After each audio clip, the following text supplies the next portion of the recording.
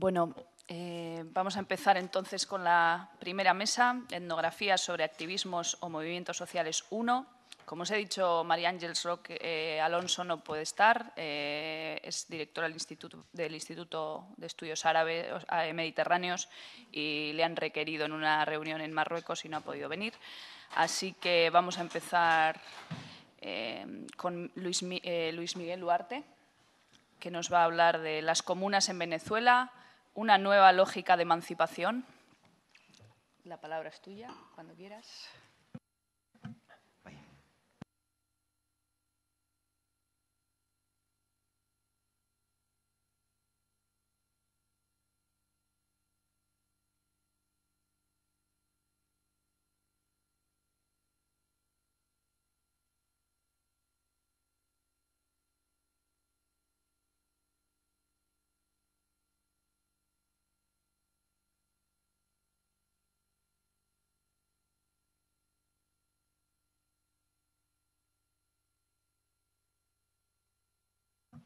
Bai, hauren bai.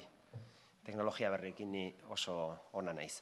E, batzuei erantzun bat ematen nien eta beste batzuei beste erantzun bat, batzuei e, erantzuten nien ba, e, nire doktoretza tesia, e, tesiaren ikerketa egitera ninduala. Eta gero, ba, bueno, beste lagun batzuk, e, igual militantzia inguruko jendeari esaten nion ba, iraultza bolibartarra esagutzera nindoala. Bai? Bakoitzari ba, erantzun ezberdin bat.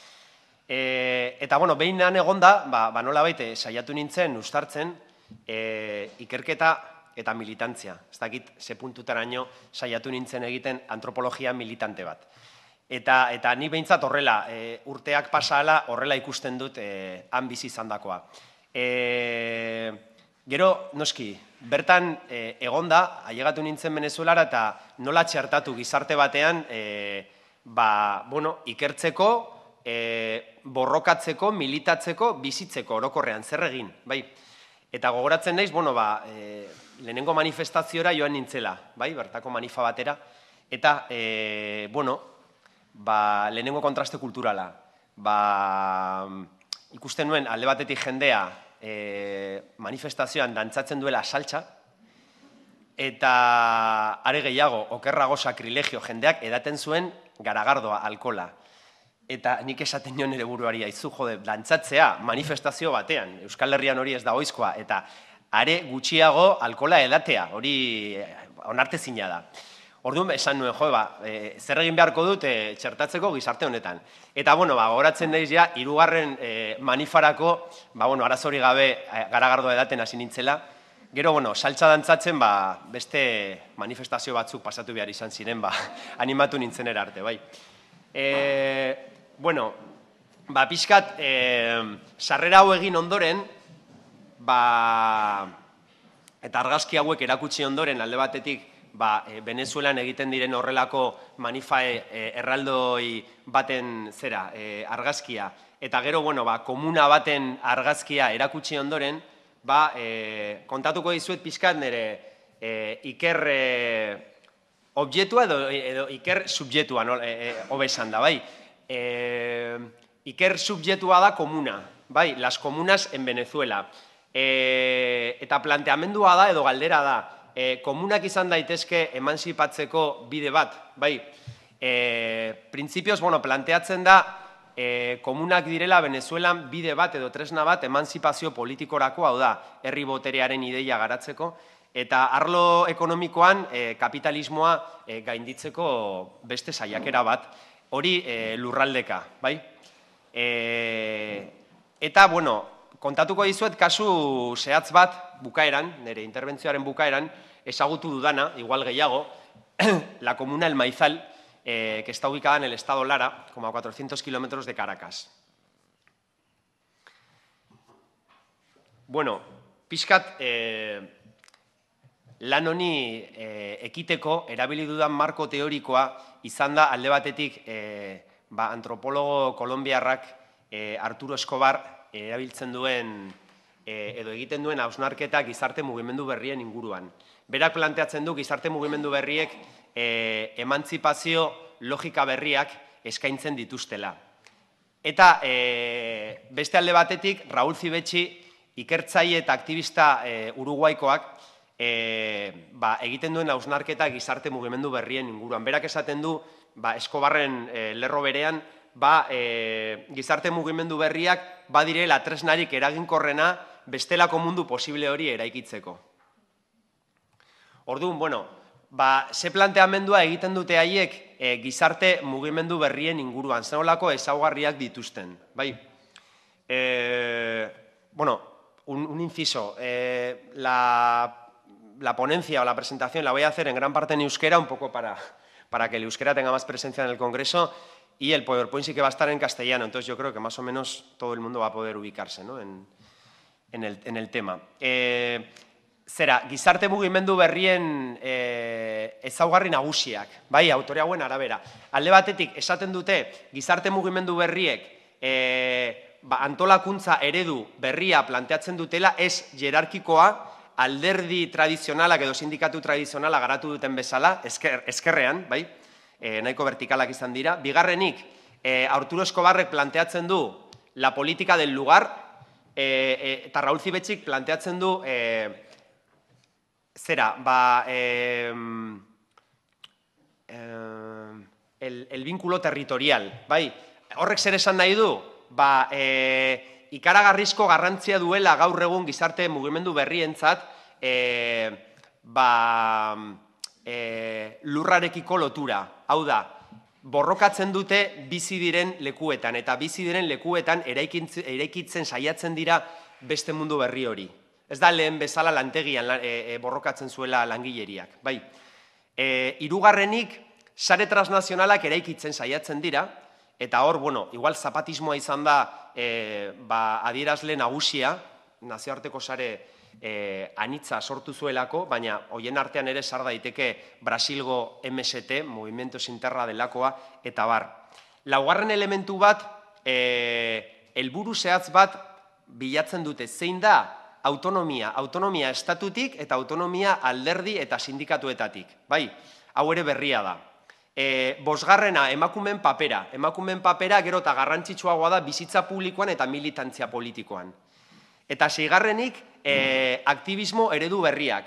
Hau da, aktivismo tradizionala, grebak egitea adibidez, alboratzen dute, eta aktivismo eredu berriek planteatzen dute batez ere e, lurraren garrantzia eta e, lurraren e, bereganatzea. Bereganatze fisikoa eta bereganatze simbolikoa. Disputatzeko botere tradizionalari lur horren kontrola. Bukatzeko pixkat e, aurkezpen teoriko honekin, e, eskobarrek eta zibetxik esaten dute mundu berria, buruan dugun mundu utopiko eta berri hori existitzen dela. Existitzen da esperientzia lokal askotan, komunitate txiki askotan. Kontua da, e, bilatu behar dugula eta ikusi behar dugula eta hortik ikasi eta nolabait zabaldu leku askotara. E, Eta gero badago, zera, e, iraultzaren inguruko irakurketa oso interesgarria, hausnarketa nik esango nuke berria. E, iraultza ez da lehen bezala diskurtso iraultzaile bat, programa iraultzaile bat, nortasun bat, langilea izateagatik zuia berez e, iraultzailea zara. Iraultza da e, giza eta gizarte harreman berriak sortzea. E, kapitalismoa gainditzeko, patriarkatoa gainditzeko, eta bar. Eta gero, emanzipazioaren inguruan ematen duten definizioa horrekin lotuta dago. Emanzipazioa ez da helburu bat, bizimodu bat baizik. E, prozesu gisa ulertzen da, bai, osatu gabekoa da beti, eta e, ibiltzen laguntzen duena. E, beraz, aldaketa orokorra bilatu beharrean planteatzen dena da e, esperientzia zehatzak, benetan emantzipatoriak izan daitezkenak. E, bueno, lan hau egiteko metodologia izan da batez ere, bueno, burgilketa antropologiko hori, nik duela amar urtetik aurrera eraman dudana. Alde batetik, landa lana luzea, e, lau urte terdiz, bertan bizi izan naizelako, Venezuelan, nik uste horri deitu alzaioela, nola baita esateko, behaketan militantea, ba, aktivista gisa e, aritu nintzelako 23 denero izeneko auzo e, batean, Karakasen, hor irrate komunitarioan ibili nintzen, eta baita ere gizarte programa batzuetan bolondrez gisa, eta, e, bueno, aukera ederra, ba, elkarrizketa pilo bat egiteko, formalak, informalak, eta bar. Gero, bueno, ba, hori osatu dut, e, azken bi urte hauetan egindako e, elkarrizketa eta landalanarekin. Bueno, komunei buruz hitz egiteko, ba, hitz egin baino lehen nire ustez saiatuko naiz oso kokapen orokorra egiten e, iraultza bolibartarraren inguruan. Hor daude zera, e, data oso zehatzak baina garrantzitsuak. Haiek esaten dute, cuando empezó la revolución bolivariana, eta e, auzoetan jendeak esaten du, e, esto tiene más de 25 años, es un cuarto de siglo, e, y esto empezó cuando la gente en... E, en 1989, en febrero, en el Caracazo, bajó de los cerros y dice, los cerros bajaron y ya no volvieron a regresar a casa. ¿no? Eh, horrazten da, e, América Latina ematen den en neoliberalismoaren aurkako lehenengo matxina da herrikoia. Bai? Eta horrazten da iraultza bolibartarra. Horrek albidetuko du, e, bederatzi urte barru, mugimendu bolibartarraren hauteskundeetan e, garaipena, eta irekiko da e, estenatoki berri bat non, ba, azken ama urte hauetaz hitz egiten baldin badugu esan genezake. Egin dezakegu errelato bat e, gaur egungo Venezuelaz non gizarte mugimendua eta milaka pertsona altzatzen dira egunero e, haien ingurua aldatzen saiatzen. Bai? Eta e, ez dakit, e, nik aipatuko nituzke ba, momentu historiko garrantzitsu batzuk, ezta? Alde batetik prozesu konstituzio gilea, e, mende bukaeran eman zena, gero gizarte programa berriak, jende askoren bizimodua eta bizi baldintzak eh, aldatu dutenak eh, errotik, e, gero ekonomia arloan ematen ari diren saiakerak enpresa berriak sortzen kapitalismoa gainditzeko. Bueno, de cualquier manera, ¿cómo medir lo que está ocurriendo en Venezuela en estos últimos 15-25 años? Y yo tengo como dos, dos espejos contradictorios. Recuerdo el... Eh, aquel tipo europeo, no importa de qué país, que llegó a Caracas, además eh, lo tuve que meter en mi casa porque era amigo de un amigo y luego no había manera de sacarlo de casa. ¿no? Y, aquel tipo regresó tres meses después a su país, no importa cuál, y le, dijo al otro amigo, ¿qué, ¿qué está pasando en Venezuela? Le preguntó, no, en Venezuela no está pasando nada se había pegado tres meses y no se había enterado de nada el tipo. ¿no? Entonces, yo recuerdo que me enfadé mucho y, bueno, escribí un artículo de opinión en, Gara, ¿no? diciendo en Venezuela no está pasando nada y contando bueno, todas las cosas que estaban pasando, ¿no? con sus contradicciones, virtudes y miserias. Pero, pero ¿cómo medir ese cambio? ¿no? Y, yo recuerdo algo también como muy personal, muy etnográfico, y es qué le pasó, o sea, qué me pasó a mí siendo eh, voluntario en los programas educativos, era como el profe, el facilitador. Eh, la mayoría eran estudiantes, eran mujeres, eh, de barrio pobre y recuerdo a Ana. Y Ana era una eh, señora mayor, mujer, pobre y negra. Con todo eso yo le pregunté, bueno, ¿y usted qué? Era eh, una entrevista para un periódico de aquí. ¿Le está cambiando en algo la vida esto de participar en las misiones? Y ella me dijo, yo antes me sentía pequeña, ahora me siento igual que los demás. Creo que con eso ya basta, ¿no? entonces, ese recorrido, bueno, que lo podemos ver en, fotos, ¿no? lo que fue el caracazo, eh, la represión salvaje, el proceso constituyente, las misiones, esta señora mostrando su eh, carta de alfabetizada, cosas fantásticas. Eh, ulertzeko aldaketa eh, gizarte mugimenduen garrantzia eta herri mugimenduaren garrantzia azpimarratuko genuke azpimarratu beharko genuke Venezuelan. Gizarte mugimendu asko egon dira. Horra agertzen dira batzuk irakurri aldituzue, bai, E, eta bitartean hemengo komunikabidek erakutse diguten argazkia izan da violentziaren autoritarismoa, e, populismoa ni bizi nintzenan eta beste mundu, ba, beste mundu batean bizi omen nintzen, bai. E, baina komunak ulertu izateko e, kontutan izan behar dugu bere oinarria. El germen de las comunas son los consejos comunales. Eta zer da, edo noiz sortzen dira? Bueno, kontseio komunalak sortzen dira Venezuelan 2006 garren urtean, e, momentu horretan iraultza bolibartarraren barruan planteatzen da antineoliberalismotik pasatu behar dela kapitalismoa gainditzeko prozesu berri batera eta sozialismoaren e, proposamen amai gainean jartzen da eta agertzen dira, bueno, alde batetik, ba, kontzeptu iraultzaileen berreskurapena. Herri boterearen ideia planteatzen da, nolabai demokrazia liberal burgesa gainditu e, nahian. Eta, bueno, ba, kontseilu komunalak zer dira? Hoiek dira auzoetan sortzen diren e, taldeak, e, auzokiden artean berreun pertsona, berreun familia barkatu, gutxi gora bera, e, biltzen direnak e, haien arazoen diagnostiko bat egiteko, planifikazio bat egiteko, eta arazoiei e, soluzio bat emateko, baina modu kolektiboan. Eta gainera, estatua e, behartuta dago diru publikoa bideratzera, komunitate horietara haiek erabiltzeko diru publikoa haien arazoak e, soluzionatzeko modu kolektibo batean. Hori oso potentea da. E, hori ikusten duzu argazki bat, kontseilu komunal batena, karakasen, bai. Baina konturatu ziren kontseilu komunalen prozesua mugak zituela. Hau da, arazo domestikoak soluzionatzen zituela, baina nola bait, sozialismo horretara hurbiltzeko edo batez ere arlo ekonomikoan e, aldaketa sakonak egiteko etzela baliogarria. Zerbait gehiago behar zela. Haien planteamendu izan zen orduan komunak sortu behar ditugu. Eta zer dira komunak? Komunak dira ba, proiektu askoz integralagoa, estrukturalagoa, e, lurralde mailan eraikitzen dena, ba, e, eragiteko arlo politikoan eta ekonomikoan. Zer esan nahi du honek? Bueno, behan agertzen dira e, komunaren helburu estrategikoak.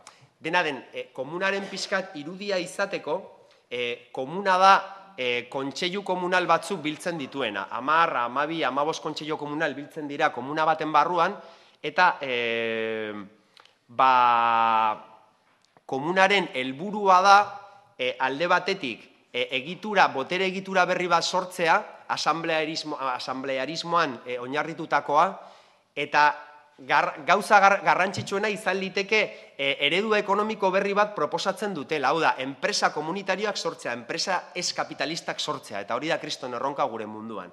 Bai, e, zera, beraz, hitze egingo dut oso modu laburrean enpresa komunalen inguruan zertan datza e, prozesu hau, edo ideia hau. Alde batetik oso interesgarria da planteatzen den jabetza. Jabetza ez da privatu kapitalista, ez da estatala, ez da kooperatiboa e, komunitarioa baizik. Bai, orain ulertuko duzu gehiago. E, hau ikusten da e, kudeaketa ereduan. Kudeaketa eredua e, nola edo zertan e, oinarritzen da? Bueno, e, enpresaren barruan komunitatean bizi den jendeak lan egiten du, bakan batzuk lan egiten dute enpresa horretan, baina e, kudeaketa eta batez ere etekinak komunitate osoak gestionatzen ditu. Eta e, komunitatea da erabakitzen duena e, sortzen diren etekinak edo mozkinak zertara dedikatzen diren. Kooperatiba batean bakarri kooperatibistak. E, enpresa komunitario batean komunitate guztiak erabakitzen du, enpresa komunitate osoarena delako. Bai. Eta hirugarren puntu interesgarria da e, zera, proiektu nazionala dela, Venezuela osoan zabaldu nahi duten proiektua da. Beraz, ikus dezakegu nola baiteko argazki bat ez dut egin, non, e, behan daude kontseilu komunala, kontseilu komunalak biltzen dira komuna bat sortzeko, komuna batzuk e, elkartzen dira hiri komunalak sortzeko eta hiri komunal ezberdinak sortzen dute estatu komunala Venezuela osoan. Hori da utopia bat, zalantzari gabe, baina nire ustez oso interesgarria. Bueno, eta ja nolabait lurrera jeitxiz, eh, adibide etnografikoa. La comuna El Maizal, eh, ejemplo etnográfico en Venezuela, una comuna agraria en una zona rural que está en el estado Lara, que está como a 400 kilómetros de Caracas. Eh, y lo interesante yo creo aquí es la apuesta que han hecho en el plano económico de construir tres empresas comunitarias, eh, una de maíz y ganado, otra de venta de gas y otra una panadería. Y además eh, se le suma a esto la apuesta que han hecho por generar redes con otras comunas de alrededor, llamándole a este proyecto corredor comunal, una especie como de ciudad comunal del futuro. Hau da, ikusten ari gara, el maizal inguruan nola erai, e, jende pilo bat e, e, elkartzen ari den eraikitzeko beste motatako e, botere eredu bat eta e, beste motatako e, ekonomia eredu bat. Bueno, nola bait, e, eta ja bukatzen joateko, ba, el maizal e, komuna honen inguruko analisi e, oso orokorra. Ni jarraitu behar dut lan honekin, etorkizunean e, bisita gehiago egin behar ditut, baina nola bait, urbilpen bat izango litzateke hemen agertzen dena. Bueno, e, marko teorikoari erreparatuz, bai? Alde batetik, e, egitura, botere egitura nolakoa da. Bueno, berez formalki badago asamblea bat, batzar bat, eta nahiko horizontala ematen du dela. Neurri batean, bai, gauza asko erabakitzen dira e, asamblea horretan. Zein da arazoa? Neurri batean, bueno, ba, realitatean, badagoela lider karismatiko bat, Andres. Eta Andresekin hitz egin behar duzu eten gabe gauza askotaz hitz egiteko eta gauza asko erabakitzeko. E, txabez txiki bat izango balitz bezala, baina ni Venezuelan bizi izan nahi zenean, txabez txiki asko ikusten dira. Azken finean, bertako kultura politikoa oso oinarrituta dagoelako figura karismatiko horretan. Eta hortik ateratzea oso zaila da. Bai. Bigarrenik, la política del lugar, el vínculo territorial que plantean Escobar y Cibechi. Yo creo que ahí eh, la gente que trabaja en el campo, que trabaja directamente en la comuna, con la tierra tiene un vínculo eh, mucho más fuerte, obviamente, con la comuna y con, la idea de, consejo comunal. Eh, de cualquier manera, la identidad comunera está en construcción. Yo creo que es un proceso largo y, bueno, hay como muchas diferencias entre unos y otros. Hirugarrena, sare transnazional. Akortan, eh, sare transnazional gutxi lortu dute e, sortzea. Nere ustez, mundu mailan dagoen gerra mediatikoa oso sanguratsua da. Nola, satanizatu den Venezuela, eta horren ondorioz, batez ere Europan, ikusten da Venezuela ba, deabru bat izango balitz bezala, ezta? E, ez dakit, hor agian gure ikuspegi koloniala gainditu beharko genuke. Hor dago e, el maizal komunaren argazki bat, bilera batean, batzar batean, jendea ba, ez eta erabakitzen, eta bueno, hor e, e, haien enpresari garrantzitsuena, ezta? Artoa ekoizten duena eta hortxe emakume batzuk artoa erakusten e, iru puntu gehiago analizi honen barruan. Autonomia. Bueno, autonomiari buruz hitz egiten dugunean, hau bai, luzerako ematen duela, eta nik, e, ez dakit, oso modu orokorrean hitz egingo dizuet. Ez dago autonomia ondirik, estatuarekiko menpekotasuna oso ondia delako, azken finean, estatua dirua bideratzen duelako komuna guztietarat, baita el maizalera ere, bai?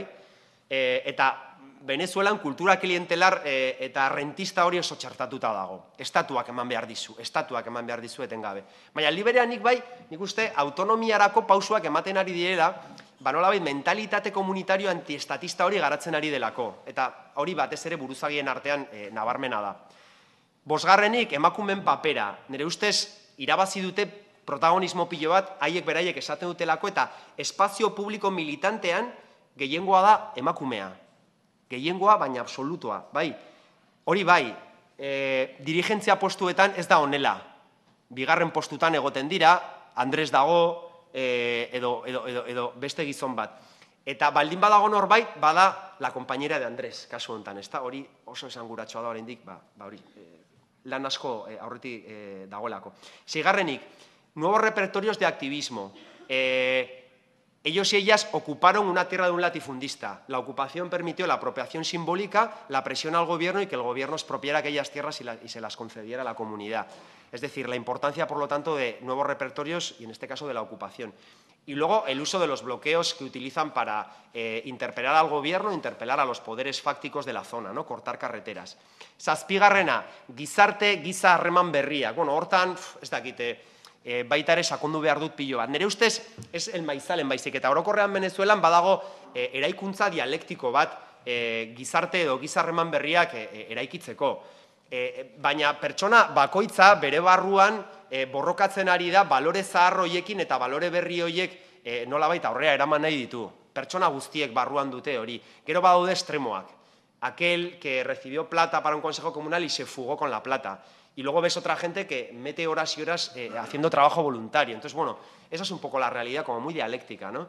Eh, luego, en el caso del mundo agrario, yo diría, hay dos elementos. ¿Dónde se pueden dar, empiezan a verse nuevas relaciones eh, humanas sociales? Yo creo que en el mundo agrario, mucho más que en el mundo urbano, está menos contaminado por toda esta lógica del consumismo voraz del capitalismo actual.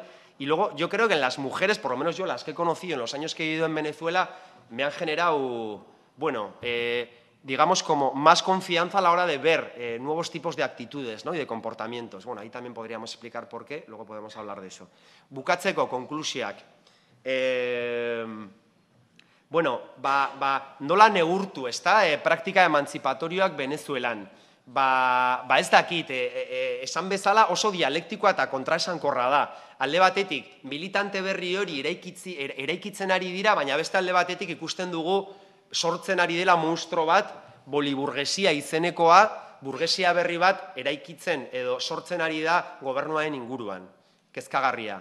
Bigarrenik, e, ekonomia komunalaren impactuan, ere ustez, impacto kualitatibo ikaragarria da. Hau da, e, eundaka komuna daude Venezuela osoan, e, jende asko parte hartzen ari da, proiektu nazionala da, baina e, aldi berean esan behar dugu, gaur egun ekonomia e, orokorrean e, Venezuelan e, ekonomia komunalak duen eragina oso anekdotikoa da. Bai, hirugarrenik lortutako zera e, aldaketak, jendearen bizitzan, bizimoduan egunerokoan, ere ustez hiru arlotan banatu daitezke alde batetik materialak, osasungintza, hezkuntza, bueno, milaka gauza.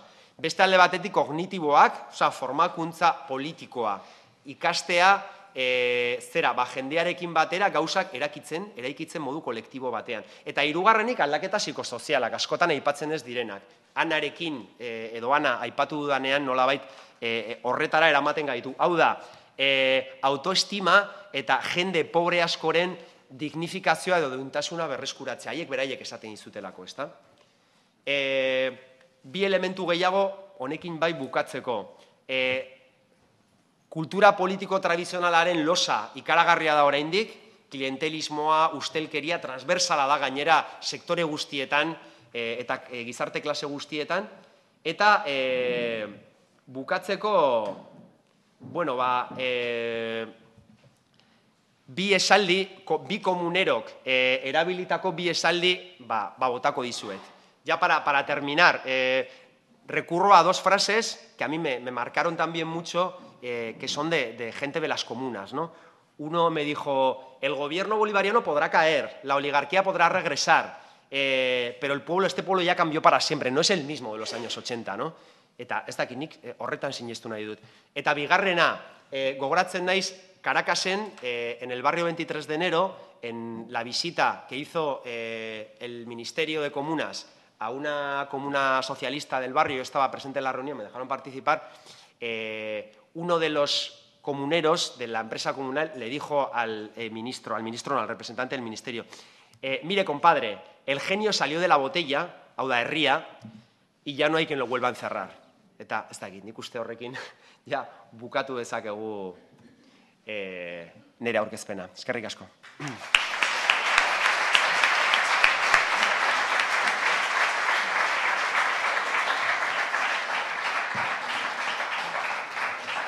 Eskerrik asko, Luismi, gero eukiko dugu denbora ba, komentatzeko, egingo dugu ze jarraian, eta gero bueltatuko gara e, zuen galderen, galderen bidez. Bueno, eh, las preguntas después, al final de la sesión, así que vamos a dar paso ahora a, a José Luis Anta, que viene de la Universidad de Jaén y que nos va a hablar de disidencias por decreto, los neoindígenas atacameños como movimiento social. Buenos días. Eh, pues agradecer a Anculegui y, y, al museo que, bueno, que, abran, que, abran, que abran las puertas. Eh, agradecer y agradecerles a ustedes. Eh, lo primero que quiero, lo primero que, voy a decir es que quiero dejar claro es que yo una vez más me, me, he colado donde no debía y soy un intruso, soy pertenezco a, otros mundos y, seguramente casi con toda seguridad este no es, no es, no es, una vez más demuestro que este no es mi lugar, ¿no? Pero bueno, eh, es un, quizás un problema personal que comparto con ustedes y es que permanentemente vivo perdido y ahora pues en, en, esta, en, este nexo de perdición me, me, me encuentro aquí sentado, ¿no? Ante la urgencia además de ante la urgencia de lo, de lo, que se debate, ¿no? es decir, que todo el Congreso está dedicado a, debatir la, urgencia del proceso social casi contemporáneo, casi, casi, casi del nuevo mundo en el que vivimos y, y bueno, yo, yo me dedico... Yo, yo, me dedico a pensar, eh, en esta ocasión me he dedicado a, a, pensar, bueno, pensar es mucho decir, pero a, a, a, intentar que algunas neuronas conecten ciertas cosas ¿no? y, y, que, tienen, que, que, que nos sirven para, para, pensar qué ocurre aquí ahora, pero mmm, es, es, obvio que, el Congreso va de, de otras urgencias. ¿no? Entender que, y la, y la, pregunta, y la pregunta es, eh, es, es, es una, una, pregunta eh, operativa, ¿no? que, que bueno, cómo, qué, qué, está ocurriendo con las plazas ocupadas y, qué, y cómo las ocupamos los antropólogos. ¿no? Mi trabajo en este sentido tiene otro, digamos que va a caer en este mismo, en este mismo plano y, está muy en relación con la ponencia que, que, acabamos de, con la comunicación que acabamos de escuchar. Pero sí que quiero dejar claro que yo pertenezco a, a gentes que, que piensan los movimientos sociales desde un largo recorrido. Gran parte de los movimientos sociales relacionados con los indígenas, todos prácticamente tienen más de 500 años y consecuentemente no son de antes de ayer eh, son movimientos sociales relativamente muy complejos, donde las, plazas ocupadas y no ocupadas eh, son, son eh, discutidas permanentemente, los espacios de discusión de lo, de, lo, que podemos entender como movimiento social, pues ha pasado por, por múltiples fases y, son, y además es un sitio donde ha habido una simbiosis, a veces una, auténtica confusión entre lo que es la antropología y lo que es eh, eh, los propios movimientos de los indígenas. Como yo trataré ahora, eh, los, atacameños, que ahora les contaré quiénes son, casi con toda seguridad no podrían existir, que así no, no, podemos hacer futuribles, pero casi no podrían existir si no es entendiendo que los eh, los que lo estudiaban, los antropólogos que los estudiaban, se los inventaron y ellos se lo creyeron y, ellos negociaron, en cierta medida, lo que estaban haciendo. ¿no? Esto no es nuevo y eh, déjenme que les cuente, para que entendamos que no es nuevo, eh, el 15M, cuando, cuando un, pequeño grupo de gente se manda un mensaje y deciden quedarse una concentración que se estaba haciendo en, en, la Puerta del Sol, bueno, que acababa en la Puerta del Sol, y una serie de gente manda un mensaje y dice, vamos a quedarnos un poco más, vamos a quedarnos esa noche, etc. El día, el día 16, el día 17, me, me, me llama Almudena eh, García Manso, de la Universidad de Juan Carlos, y me dice, me dice, José Luis, vente para Madrid, ya. Dice, no sé qué está pasando. Dice, se ha montado un mogollón en, en esto dice, es como un botellonazo político, una especie de botellón político en la Puerta del Sol. Dice, tienes que venirte, José Luis. Dice, aparte está lleno todo de microcartelitos. Dice, como, como una cosa de, Dice, tienes que venirte ya. Dice, tienes que ver esto porque es que esto no se lo cree nadie. Dice, hay un tío que se ha subido, hay un cartel de Sony y no sé qué, y se ha subido. digo, bueno, pues salí disparado. prácticamente llegué el 18 y llegué a Madrid. Lo que me llamaba más la atención del 15M, y voy a empezar mi, mi comunicación por aquí, es que una vez más asistía a un sitio donde éramos más los investigadores sociales que la gente que estaba allí. Es decir, había de golpe más medios de comunicación, más investigadores sociales. Yo me encontré a la mitad de los antropólogos españoles estaban allí. Eh, de golpe había toda una sinergia y una retroalimentación entre lo que, lo que muchos, muchos científicos sociales eh, está, creemos que, estamos pensando y lo que mucha gente que está haciendo. ¿no? Y de golpe eh, la antropología, lejos de, parecer esta, esta disciplina que, que lo es, ¿eh? esta disciplina altamente folclórica y folclorizante, que, y que lo es, que no, no, no olvidemos, y de hecho estamos en, un museo que casi con toda seguridad reclama de nosotros un papel folclorizante de la realidad que, y, que, y que tal como está el mundo, pues que no está mal tampoco. Eh,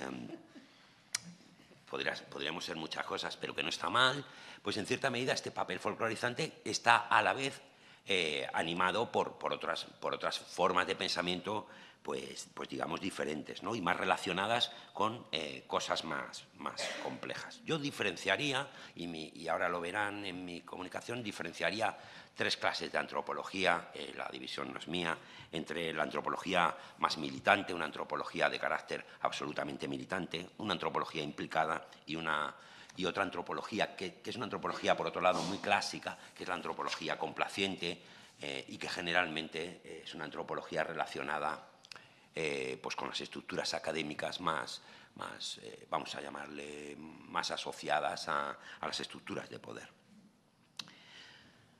Yo voy a centrar mi comunicación en, un sitio que, es el norte de Chile.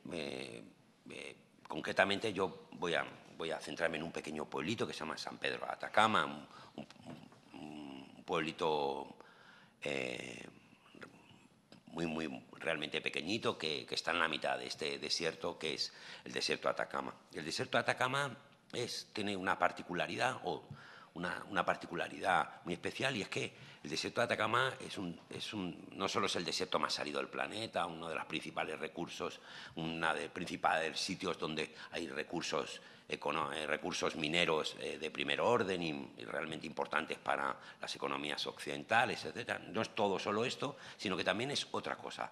Y es fundamentalmente un sitio donde no hay prácticamente nada. Y cuando decimos prácticamente nada es que no hay nada.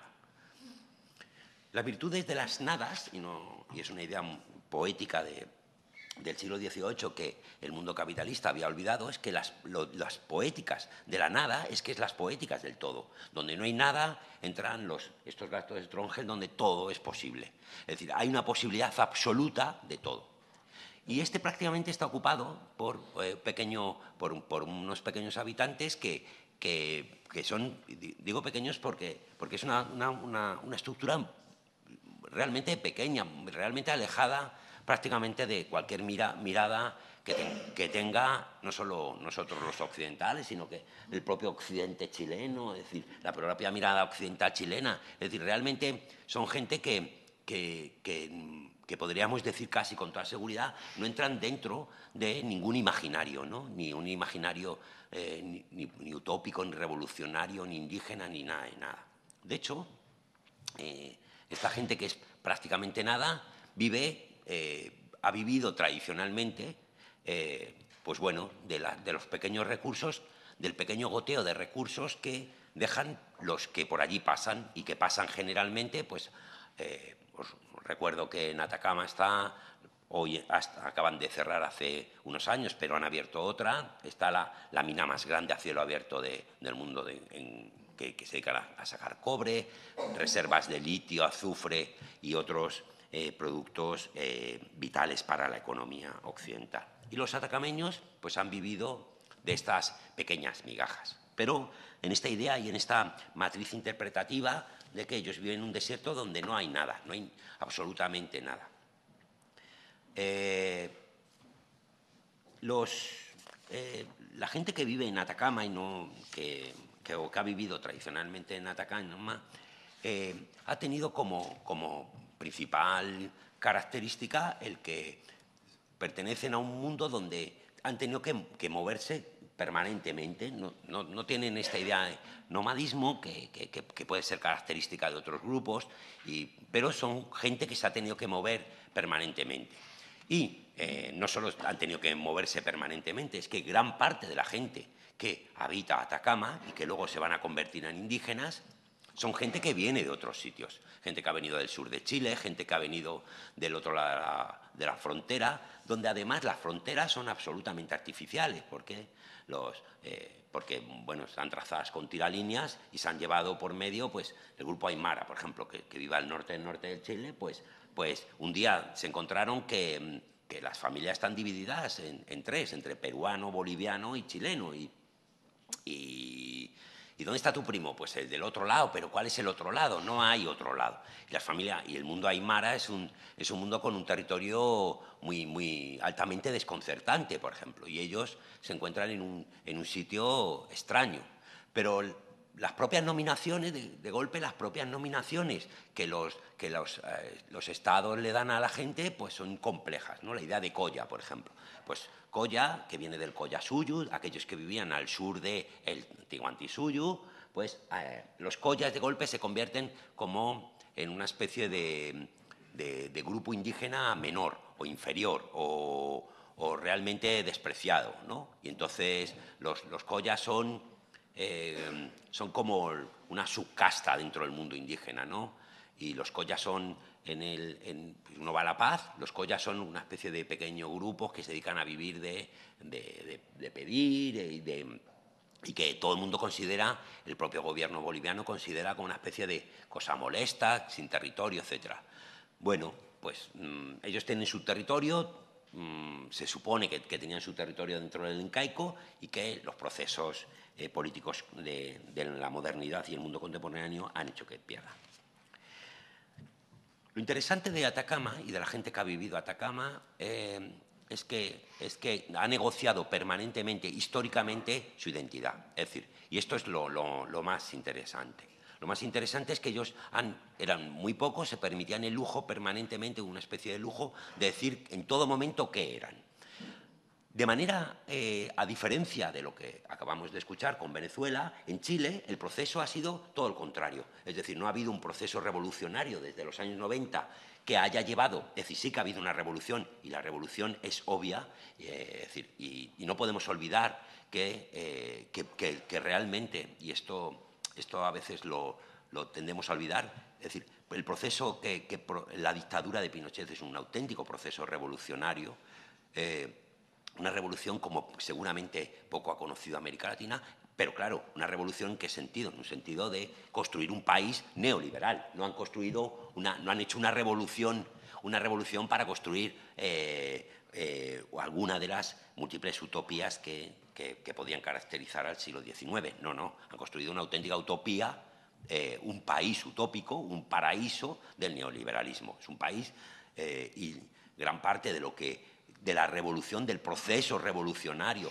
profundo que vive Chile, tiene que ver con este proceso neoliberal. En este sentido, Chile, cuando Chile eh, ascribe a, su, a, la gente que vive en Atacama, la escribe desde, eh, desde el mundo neoliberal. Y a partir de los años 90, la aparición, eh, la aparición primero de, de gente que empezó a decirse indígena y gente que lo hacía desde ese proceso que, empezaba como democracia, llevaba, eh, llevaba a, que a, que un grupo de gente que, que, tenía, que podíamos decir, de usted es indígena, ¿qué es ser indígena? ¿no? Eh, exactamente le podíamos preguntar, usted está diciendo que es indígena, ¿qué es ser indígena?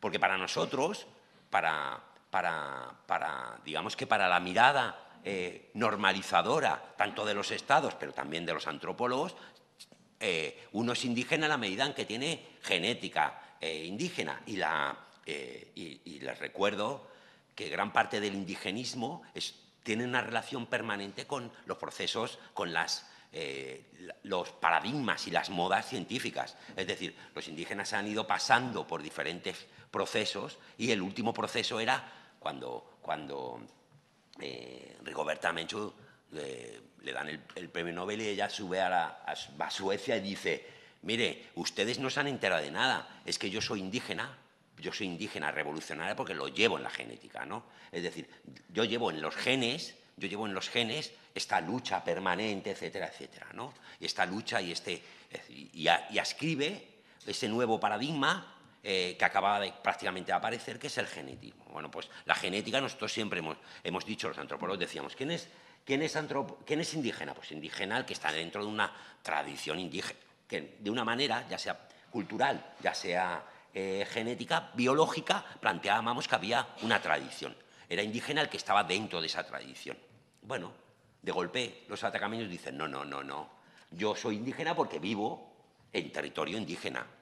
Es decir, el gobierno chileno, ellos van, un grupo de gentes que eran tres tipos de... Los atacameños son unos 5.000 más o menos unos, no llega a 500, son de tradición indígena. Digamos que tienen genética, les podríamos hacer un análisis de sangre y tendrían eh, ascripciones con eh, mm, los incas, pongamos. Vale. Pero los otros 4.500, pues hay de todo, ¿no? Eh, pues mucha gente de Andalucía, vascos a morir, franceses de todo tipo, eh, mineros, de eh, gente que, estaba en un proceso que vino del sur de Chile, etcétera, montones de bolivianos, montones de peruanos, montones de gente que pasaba por allí, etcétera. Ya está. Les recuerdo además, les recuerdo que, San Pedro de Atacama, desde, desde aproximadamente los últimos 70, primeros de los 80, San Pedro de Atacama pertenece a, un... es decir, está considerado que ir a San Pedro de Atacama, que incluso te, traes tu certificado de que está en San Pedro de Atacama, como ustedes saben, gran parte de las multinacionales norteamericanas requieren que la gente haya ido, haya hecho ese viaje extraño, que es ir o ha sido a Nepal o ha sido tal, de, con una mochila y te, has, y has ido de auténtico. Entonces has eh, vencido contra este desierto, etc. Entonces llegas a San Pedro y, hay cantidad de, pues, pues bueno, prácticamente todo el pueblo, pues es como una, un macroturismo alternativo, ¿no? Es decir, que, eh, que, puedes tener iniciación al peyote, iniciación a tal y cual, está todo perfectamente empaquetado y te dan tu certificado, te has iniciado en el peyote, te has iniciado y te vienes y lo pones en tu currículum. Es decir, y, entonces, pues claro, Atacama está lleno de, por ejemplo, pues hace unos años eh, una familia del Midi francés pues decidió que, era bonito, que era bonito, es decir, eh, tener caballos en, Atacama. Ya lo, pasan mal los camélidos andinos, las alpacas, las vicuñas y las llamas, ya lo pasan mal. Es decir, les recuerdo que no es el sitio más árido del planeta porque lo diga la NASA, es el sitio más árido del planeta porque no hay agua. Es decir, es que hay un hecho objetivo. Un caballo bebe, no sé, unos 25 litros diario de agua. Eh, tener caballos y tener, pues eso, pues bueno, se les ocurrió a la familia francesa tener caballos. Pero no, para, para tener caballos necesitas agua. Y, y el agua, y ahora les quiero contar esto, el agua es una gestión por parte de la comunidad indígena. Entonces llegó esta familia, y ni corta ni perezosa, llegó y se inscribió. Es decir, se inscribió porque eh, habían comprado un terreno y les hacía indígenas y eh, automáticamente tenían derecho al agua. En cierta medida, que esto que, no deja de tener, es decir, y que, nos, recuerda que en cierta medida nosotros a los, a los grupos sociales que estudiamos y a los movimientos sociales los podemos ver desde el proceso sociológico, pero también de su propia dinámica histórica y, cómo no, desde el propio proceso antropológico de la interpretación. Y eso nos da un triángulo bastante interesante. Eh, la, relación de, de, esta gente que vive en Atacama, es decir, a ver, por hacerles cuento corto, voy a, me dejan que haga una discreción, simplemente en los años 90 eh, Chile entra en la democracia y descubre que no lo sabían que tenían indígenas. Es decir, llevaban 200 años de república y no, tenían, no, tenían, no sabían que tenían indígenas. Es decir, eh, así de claro, así. Es decir, los mapuches no tenían indígenas, habían sido negados permanentemente. Es más, Allende, una vez que, que Allende, que había nacido en lo que sería hoy en una parcería indígena, le preguntaron en cierta ocasión que qué pensaba de los mapuches y dice, bueno, los mapuches pues, pues están ahí, están en nosotros, están cuál, bueno, no, no, pero, pero no, no, no hay mapuches, somos todos chilenos y, la chilenización era parte de ese proceso global. Si a esto sumamos esta revolución de la que se hizo en la dictadura eh, de Pinochet, esta, revolución económica, lleva a todo el mundo, a todo Chile, a una auténtica ascripción al mundo liberal. Consecuentemente, eh, cuando en los años 90 Chile, como parte de los tratados internacionales, como ustedes saben, todos los tratados internacionales americanos, para estar dentro de los tratados, tienes que reconocer que ha habido indígenas y que hay indígenas, pues Chile hace una, hace una ley indígena. Y claro, como no tiene indígenas, porque nunca ha tenido indígenas, pues lo que hace es crea territorios, pequeños territorios eh, indígenas. Entonces, todo el que viva dentro de ese territorio se le pregunta, esto había... Eh, estamos en ese punto que es un, largo proceso que empieza en los años 90. El largo proceso que acaba a mediados de los años 2000 de manera abrupta, cuando eh, un grupo de, eh, chiquillos, de, chicos jóvenes, que no viven ni en San Pedro de Atacama, sino que viven en la zona minera en, Calama, bajan a San Pedro de Atacama y pintan todo el pueblo. el pueblo es como muy pintoresco y muy construido, muy, es como una, una estructura muy, eh, muy colonial, es como una especie, a mí, me recuerda estos, estos, un poco bienvenido Mr. Marshall, pero en chileno, ¿no? Es decir, un poco cartón piedra, todo un poco, eh, un poco artificializado, ¿no? Entonces, llenan todo el pueblo de, de, lo que ellos son, de lo que los chilenos se consideran a sí mismos como grupo Licanantay, y pintan todo el pueblo de Licanantay. Y deciden quemar el Museo Antropológico, lógicamente porque el Museo Antropológico eh, es, de los, de, los, de los indígenas. Entonces, eh, no puede estar bajo la inscripción de la universidad y de antropólogos, lo quieren para sí, y queman parte del museo, queman los depósitos del museo y queman los santos, eh, todos los santos, todos los santos que había en relación a la colonia, ¿no? que, que, estaban dentro de la iglesia, los queman. ¿no? Y entonces es cuando de golpe Chile Chile se plantea, en, Atacama se plantean, van a, ocurre como una especie de pequeño movimiento, contramovimiento revolucionario y en Santiago de Chile se empiezan a preguntar qué está pasando, ¿no? ¿Qué es lo que ha pasado? ¿Qué, eh, que, por qué de golpe alguien dice que Licanantay quema la iglesia? Es decir, bueno. En los años 90, y este es el proceso, una cosa que, me gustaría discutir, eh, lo primero que, quiero hacerles entender es, Digamos que está San Pedro de Atacama, está el salar, no les voy a, háganse la idea, pues un pequeño, una pequeña aldea que tiene un, salar enorme al lado donde eh, pues trabajan un montón de mineras, eh, de mineras de concesiones internacionales de minería. Y en, la zona más alta, en la zona, ah, eh, digamos, pegada a, los, más, más a la cordillera, pues hay pequeñas fuentes de agua y aquí hay una serie de pueblitos, donde pequeño, un rosario de pequeños pueblitos yo que sé, unos 20 pueblitos que viven 150, 200 personas que eh, la, inmensa mayoría de, los pueblos han emigrado a, las zonas mineras. Uno de estos pueblitos tiene una tradición que se remonta al incaico, que es limpiar el canal. El canal que baja con agua al pueblo, un pequeño canal, hay que limpiarlo. Todos los años, bajo, la, una, bajo un trabajo comunal, una minga, se limpia el canal. ¿De acuerdo? Y el canal el canal se limpia y cuando se llega a, digamos, a la, fuente del, al principio del canal se sacrificaba tradicionalmente, es decir, tenemos, decir, sabíamos que en el incaico era obligatorio eh, sacrificar, eh, sacrificar algo.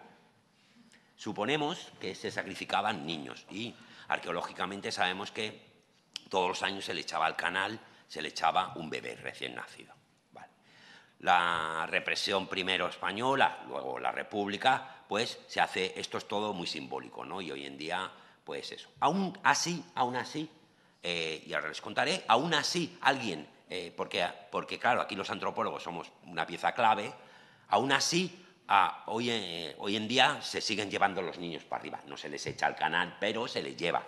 Se lleva a los niños y se les expone allí para que se elijan. Y de hecho se elige uno, que tal y cual. Bien, se limpia el canal, es una limpieza eh, meramente funcional que se acompaña de un, de un baile, el talatur, que es que se va, que a la vez que se va limpiando el canal, que es una cosa incómoda, y hay que limpiar cerca de 10 kilómetros de canal, de, una pequeña acequia, hay que limpiarlo, eh, bueno, pues eh, a la vez se va haciendo como una especie de baile ritual, se va tomando, se va tomando alcohol, se va bailando, etcétera, etcétera, hasta que se llega arriba y se hace como una especie de, baile donde, eh, donde bueno, toda la comunidad pues, mm, pone allí unas viandas, come, hacen una mesa ritual, que como ustedes saben es un reordenador simbólico andino, no va a entrar por ahí. El caso es que en los años más o menos, entre los años 60 y 70, la limpia del canal se abandonó.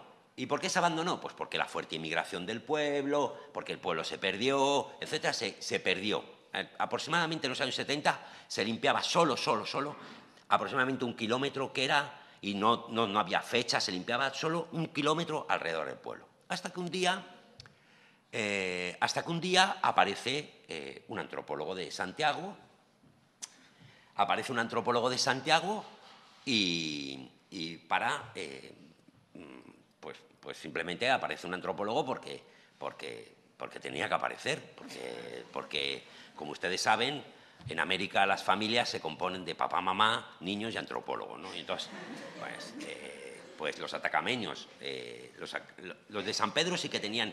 San Pedro tiene desde los años 50, tiene tan, es decir, hay tantos antropólogos, hay tantos antropólogos en San Pedro que, que, San Pedro tiene un hotel particular para los antropólogos. Es decir, que parece una ironía, pero es que tiene un museo de antropología antes de que, antes de que, tiene un museo de antropología antes de que hubiera atacameños. Es decir, y, tiene una revista que se llama Estudios Atacameños, que es una revista de antropología, tiene revista de estudios atacameños, la tiene antes de que, eh, pero mucho, mucho antes, de que nadie jamás supiera que allí eh, hubiera antropólogos. Es decir, bueno, brutal. Total, que este pequeño pueblito Socaire no tenía antropólogo. ¿Vale? Sí lo había tenido Peine, que en los años 50 había recibido incluso 15 antropólogos japoneses que habían estado viviendo en el pueblito, que había más antropólogos que hombres. Es decir, que brutal. Es decir, había más antropólogos que hombres y japoneses. Eh, pero Socaire no tenía. Y total, que apareció el antropólogo. Una mujer, voy a toda velocidad, una mujer tiene unos, un churrumún, que es unas, unos crótalos, unas, unas campanitas, ¿no? una campanita, y la tiene en casa. Entonces lo ve el antropólogo y, dice el antropólogo, anda, si esto, esto, es, esto es una reliquia incaica. En ese momento eh, hay una reorganización muy parecida a lo que tienen los consejos comunales que, nos, acaban de contar. Gente que se está repensando eh, su autonomía, su proceso autonómico, qué hacen con sus cosas, cómo, cómo se empoderan, están pensándoselo. Y de claro, de golpe esta mujer dice, ¿cómo que del incaico? ¿Qué es esto del incaico? Es decir, estamos hablando, dice, a ver, ¿qué cuéntame? Le dice. Dice, sí, sí, sí, es que los incas utilizaban estas campanitas, utilizaban estas campanitas para, eh, para invocar la relación que existe entre la Pachamama. no me digas, ¿y cuándo se utiliza? Dice, no, esto, pues, dice, ¿habrá alguna fiesta aquí donde se utilizaba? ABC de golpe dice, no, pero si nosotros aquí teníamos una fiesta, que, nadie se acordaba ya, dice, tenemos una fiesta de la limpia de canales. Entonces le dice, ah, sí, y entonces hablan con los viejos del lugar. Y hay una reunión, porque hay una reunión para el agua, entonces vienen gente de viene gente de Calama al pueblo y de golpe dicen, ¿sabéis que tenemos los Chorromón, que es el centro, así, ¿eh? El centro de la fiesta del tarat. Entonces el antropólogo, eh, que por cierto, que es profesor hoy en día de la Universidad de Santiago, es súper importante, dirige un máster y todo allí y tal, pues el antropólogo les dice, hombre, os hace falta el texto original, para que, que es el que se bailaba. Y entonces dicen, ostri, el texto. Dice, pero en Japón en Japón, un alemán había publicado en una revista japonesa el texto con el agua. Entonces, pues ya sabéis cómo va esto, ¿no? Se manda a traer el texto, viene la concejala desde San Pedro, se monta un mogollón, porque se como con la clave. Pero no es de ese pueblo, es de otro. Y encima no, no está en castellano, está en, en, en está, el texto está en Licanantay. Y a la vez era un texto, bueno, entre unos, otros, se recupera el texto, mm, había que sacrificar algo, entonces de golpe alguien dice, no, en Bolivia sacrifican una llama, un feto de llama para las casas, pues lo mismo, y empiezan a sumarle cosas, vale. Lo más interesante de todo esto, lo más interesante del proceso, súper interesante porque se recupera, se recupera eh, esto, es que en el año, en el año 96 cuando, se hace la fiesta de manera natural y, la gente ya está, y todo el mundo está convencido, aparecen como 10 artículos de antropología, pero desde el American Anthropology a estudios aracameños, es decir, no, no estamos hablando de revistas de antropología cualquiera, sino en el top del top de la antropología, aparecen montones de artículos sobre la limpia de canales en Socaire, que es una cosa tradicional del incaico. Y sin embargo, la realidad es que era una negociación entre un montón de gente. No podemos entender, y, en Atacama eh, todo está lleno de, está lleno de, pequeños, pequeños malentendidos de este tipo. ¿eh? No podemos entender los movimientos. Ya, acabo ya. Sí. Eh, no podemos entender, y esto es lo que me interesa, no podemos entender las ciertas lógicas desde las si no, si no es incorporando las lógicas mestizas que los antropólogos proponemos permanentemente. Creo que no es, no es solo que, y lo digo por, eh, y lo digo desde lo pequeño, no es solo que eh, la gente ocupe plazas, que, las tiene que ocupar y que, y que ojalá al final entendamos que la plaza es un sitio ocupado y, ocupable y, que nos, y que nos debe ocupar, sino que, eh, sino que hay un montón de relaciones donde los antropólogos terminamos por, por crear una, una, identidad finalista de la realidad. ¿no? Y esto sí que me preocupa más, porque creo que que en, gran medida, y este, este, Congreso es una prueba de ello, creo que en cierta medida eh, desnaturalizamos, hacemos una especie de fanatismo identitario, convertimos en problemáticas y cosas que, que la gente entiende desde otros puntos de vista. ¿no? Es decir, digamos que falsificamos, yo, yo lo he hecho, ¿eh? es decir, y en Atacama es obvio, y lo he hecho con otras cosas, falsificamos o, somos falsos eh, testigos de las eh, ciertas lógicas que, tienen, que tienen otros puntos de vista. ¿no? bueno, mm, lo, dejo aquí, que, que ya está, que si no me voy a liar más. Bueno, muchas gracias.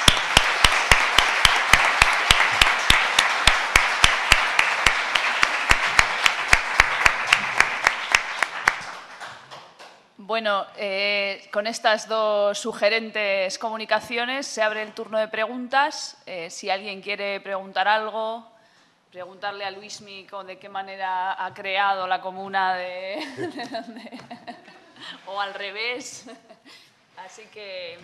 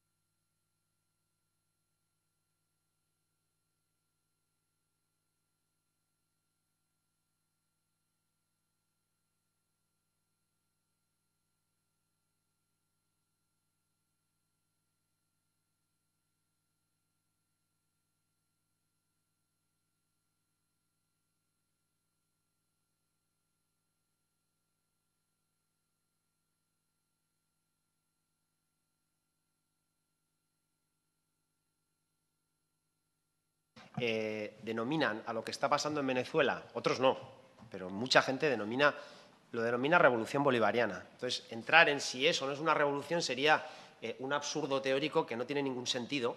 Eh, ese ya como primer punto de partida. si ellos y ellas lo denominan así, por algo será, así lo sienten, ¿no? Yo creo que ya es un punto de partida.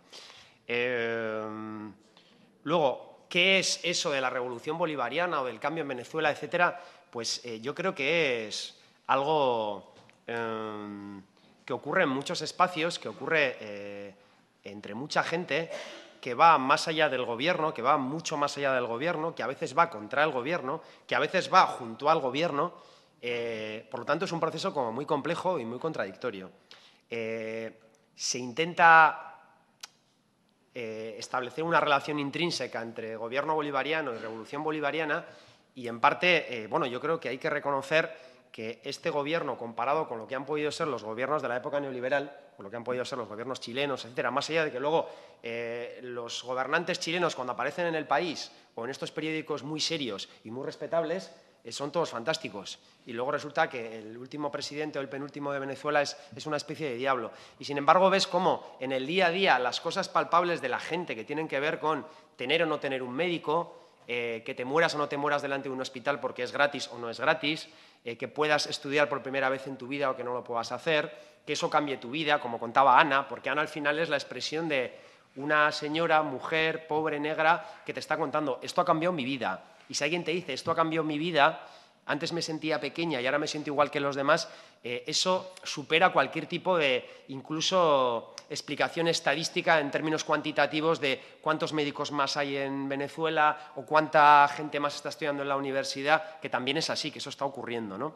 En un proceso, además, que yo creo que, más allá de que se llame o no revolucionario, eh, es parte de, bueno, eh, de la vida de un país en el que miles de gentes están intentando cambiar ciertas cosas también en, un marco, en una tradición, en una cultura que es la suya, que está impregnada, pues como la de cualquier eh, otro lugar del mundo, pues de valores que son propios de sistemas eh, opresores, represores, eh, como puede ser el capitalismo, como puede ser el patriarcado, etcétera, etcétera. Entonces, claro, eso de alguna manera conflictúa en el día a día con eh, pues una cultura política clientelar, eh, con lógicas de corrupción que vienen, yo diría que vienen de por lo menos la colonia española, es decir, la lógica esa de la picaresca del Lázaro de Tormes, igual es que viene de antes, y no es que estos sudacas son unos corruptos, ¿no? Habría que ver, ¿no? Toda la eh, el despliegue que supone la colonia ¿no? a la hora de, generar un tipo de sociedad muy concreta. Eh, que tiene que ver con los liderazgos también fuertes, el, eh, liderazgos carismáticos, etcétera, etcétera. Eso está ahí. Entonces, es el conflicto constante entre intentar cambiar las cosas y golpearte de frente contra esa realidad que es parte de, ti, de ti mismo en tu interior, de tu vecino, de tus vecinas, de tu comunidad, etcétera, etcétera. Entonces, pues bueno, eh, eh, eh, han pasado muchas cosas, yo creo que en estos 15 o 25 años. ¿no? yo creo que han pasado cosas muy interesantes porque ha mejorado la vida de, muchas personas a nivel material, como decía, creo que también a nivel más cognitivo, a, la hora de que la gente creo que tiene más formación, creo que tiene más capacidad crítica. Una sociedad en la que si en los 80 y 90 la Venezuela de esas dos décadas era una sociedad muy fragmentada, muy individualista, donde además, digamos, el valor eh, o los valores estadounidenses tenían más presencia incluso que en otros lugares de América Latina por ese vínculo con Miami, ¿no? que siempre fue muy estrecho, eh, intentar empezar a construir organizaciones donde la gente empiece a convivir con otros y con otras para construir cosas juntos, equivocándonos, metiéndonos la pata, mientras este además está robando la plata, que ya lo sé. O sea, eso es parte de la vida real, ¿no? Pero eso implica que se está caminando, ¿no? Eh, y luego, bueno, pues con, todo ese, vamos a decir, y con esto ya concluyo, ¿no? Eh, toda esa estrategia que va más allá de la propia oligarquía venezolana y que tiene que ver con poderes internacionales, fundamentalmente históricamente Estados Unidos, que desde el primer minuto han intentado tumbar un proceso, eh, un gobierno que no consideraban eh, amigo, porque no, no, no servía a sus intereses todo lo que ellos querían, pues bueno, tuvimos el golpe del 2002 y ahora tenemos desde hace años una guerra económica que es parte de una estrategia de desestabilización que implica eh, que hay una inflación porque, como hicieron con el Chile de Allende hace 30 40 años, eh, se acaparan por parte de ciertos empresarios eh, productos básicos, aparecen luego en galpones miles de toneladas de papel higiénico, se los habían guardado para que no hubiera, para generar desabastecimiento artificial, que esto provoque un aumento de los precios, etc. Quizás lo más preocupante, y eso también hay que asumirlo y tenemos que decirlo claro, es que todo eso no ocurriría en esa dimensión y no hubiera generado el problema que hoy en día hay en Venezuela, porque hay que reconocer que el proceso está en su momento más crítico, eh, la crisis económica es muy fuerte, es que hay gente dentro los rojos rojitos que se ponen en la camiseta roja, pero que luego realmente están activando para, el otro lado, que son parte, digamos, de redes corruptas. Si no, 25.000 millones de dólares no hubieran desaparecido de Cadivi, que era la institución pública que se encarga de otorgar los dólares para que tú puedas importar del exterior. O sea, hay una parte también de los que están dentro que son parte de, eh, de alguna manera, de todo ese sector que quiere tumbar el proceso, que se quiere enriquecer y que lo que está haciendo es perjudicar, pues bueno, yo creo que una experiencia muy interesante en la historia en América Latina y yo creo que a nivel internacional, donde se estaban intentando, se están intentando todavía construir muchas cosas. Entonces, a veces ves lo de las comunas, que creo que es algo muy bonito, muy fascinante, también con esas contradicciones que tienen, y luego ves en algunas ciudades unas situaciones muy complicadas con todo este tema de la guerra económica en el que sectores de fuera, de dentro, y lo peor de todo, los que se supone que son, entre comillas, revolucionarios, también están... Eh, bueno, digamos como activando justo en contra del proceso. Entonces, bueno, no sé, eh, eh, esas son como pinceladas de, lo que yo he visto, lo que yo siento un poco en torno a, Venezuela. Luego, no sé, yo lo de Podemos, yo he conocido a, algunos de los que hoy en día están en Podemos, eh, los he conocido en Venezuela, eh, pero bueno, pues como cualquier otra persona, eh, miles, bueno, miles, igual no tanto, porque como desde Europa se ha satanizado mucho lo que ocurría en Venezuela, pues la gente normalmente no sentía como muy atractivo Venezuela, era más atractivo el zapatismo, todo era como mucho más, era más guay, ¿no? Venezuela era como, uff, no sé si me fío demasiado. Entonces, tampoco, tampoco habíamos, éramos demasiados, ¿no? Los que íbamos de Europa. Entonces, bueno, yo creo que, bueno, pues la gente que, ha ido allá y, alguna gente esta, pues ha intentado también como aportar y fundamentalmente yo creo que lo más importante aprender, ¿no? Y yo por lo menos en mi caso, a la hora de ir fuera, eh, más que dar lecciones de nada es... Eh, llegar, eh, sentarte, eh, abrir los ojos, escuchar mucho y, bueno, aprender de, otros procesos que creo que, tenemos mucho que aprender y que muchas veces nos cuesta, ¿no? porque Europa parece que siempre hemos intentado como o enseñar a los demás o, ir a verles para a, ver qué taras tienen y, de alguna manera investigarlos. ¿no? Entonces,